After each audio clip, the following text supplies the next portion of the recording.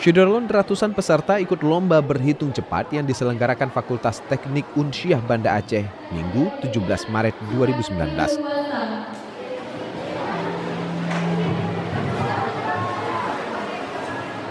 Lomba berhitung Fakultas Teknik ini dipusatkan di Aula Poltekes Melabu, Aceh Barat.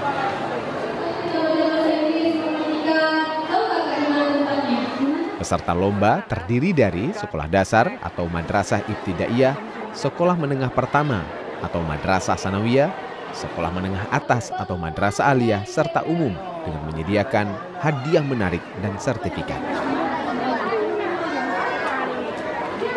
Dari Melabo, Rizwan Serambi Enti.